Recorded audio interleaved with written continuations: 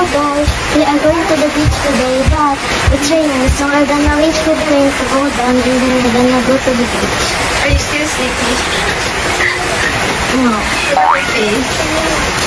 So tara, magbiyahe ta mams. Sa tinuod lang, wala pa jud mi kabalo kung asa mi paadto na beach no. It's officially summer naman jud no, maong fully booked jud tanang resort kada weekend. And so, diri mi napadpad sa Susan's Beach. Thank you. Tara, manulod na ta, ma'am. Shala, nice man day diri, no? So, mao to, sa entrance pa lang, magbayad na mag entrance fee and cottage fee. Hala, ka nice sa view. Guwapo kay ang ambience diri, ma'am. Ay, ganahan kaayo ko. Ang ambience bitaw kay murag naa ka sa US, I bet Amerikano ang tag-iya ani. Guwapa kaayo ang mga bougainvillea nila. Ug barato lang pud ilang entrance ug cottage fees, ma'am. Unya, wala pa jud sila corkage fee. Unya, para mas tipid pa jud, pwede na mo dili mo kuha og cottage. Kay naa po dahil sila for rent na banig. Mura lang mo nag-picnic ka perfect. And yes, na ay mga uwak diri ma'am. Ayaw mo kahadlo kay harmless man daw sila ingon ni ante. Ay grabe, ka-perfect sa view from our cottage.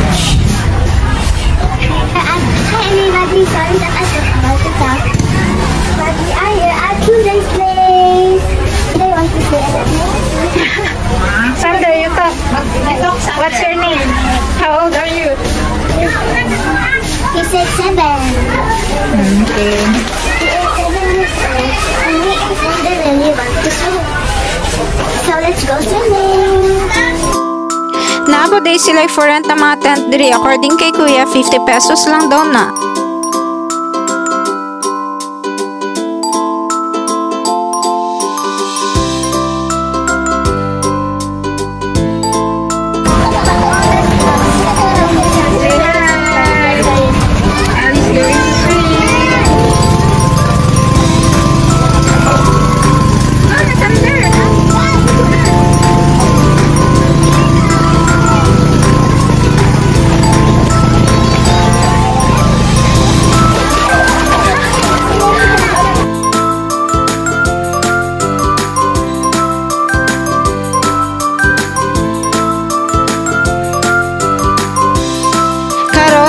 Na sa exciting na part. Let's go!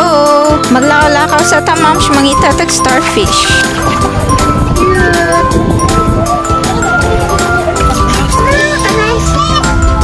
Starfish.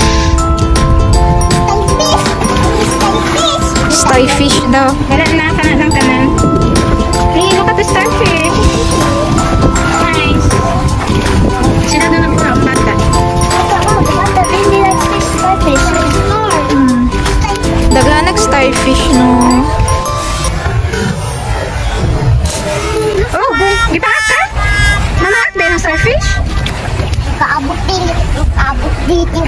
Mama niya ato ka. Ato ka. Balik sa ta sa cottage, mams, kay grabe jud kay init. Murag dili na pud ko kaliguan ni baka nag-low tide na ni atras na jud ang dagat.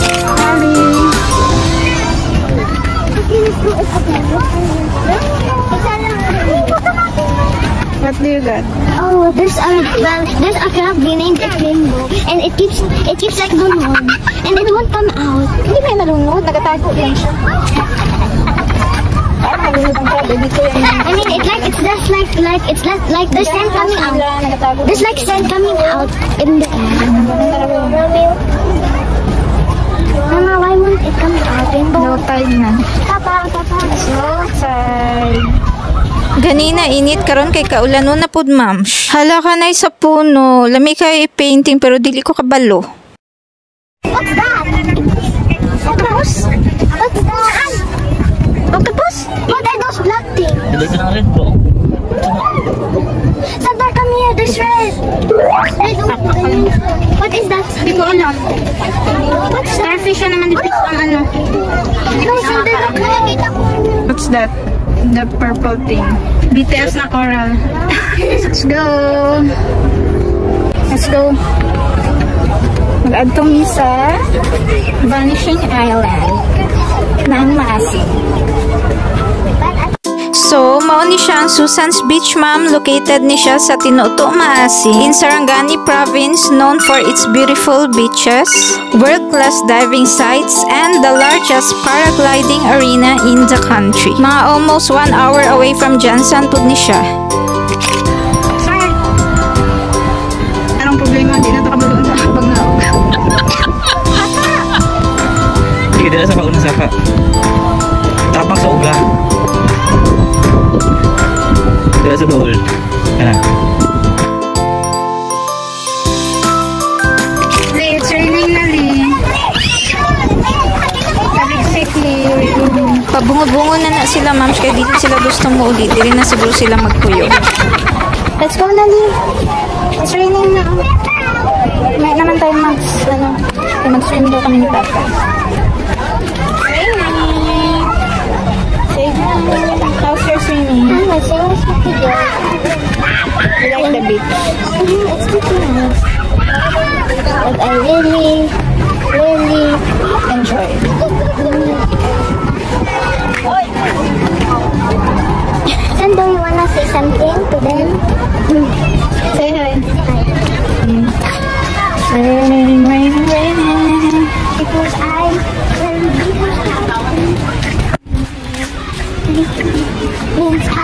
Watch your steps, Ali.